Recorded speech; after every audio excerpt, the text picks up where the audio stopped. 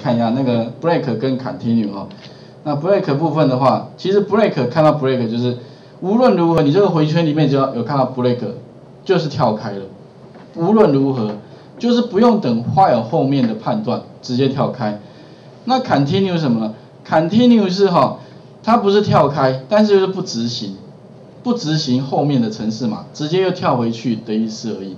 啊，就 continue 看到 continue。它不执行后面的程式，直接跳到上面。这个后面有范例，我们来看。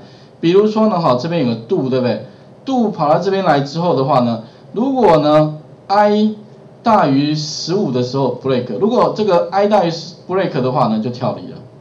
那其实后面我觉得它这个范例不是很好啦，因为它这个地方是 true，我是建议就是这边可以改为 i 大于一千好了，或者一万等等的。就是这个数字哈，这个数字如果很大。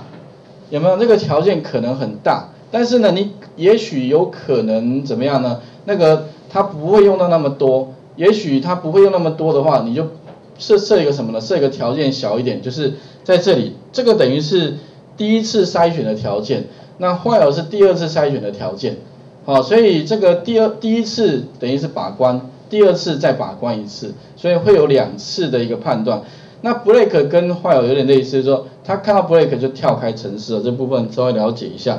那再来的话呢，下一个 continue 什么意思呢？continue 就是说呢，哈，如果这个条件，比如说如果这个条件成立的话，continue，continue 就是不执行下面的哦。如果你没有看看到 continue 了吗？这个条件什么意思呢？如果 i 这个百分比是什么呢？余数对不对？哈，求余数。求什么余数呢？如果跟二能够除之后余一，那余一是什么意思呢？就是偶啊，就是奇数的意思。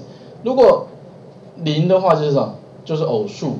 那也就是说，如果它是等于一的话，那表示它是奇数。奇数的意思，这一题其实就是算什么？算偶数的加总。偶数的加总。也就是说，如果哈这个地方它等于一，那 continue 意思就是不执行下面这个加的动作，不把它不加，对不对？那就跳回到前面去，继续再跑回圈里，就是不执行下面。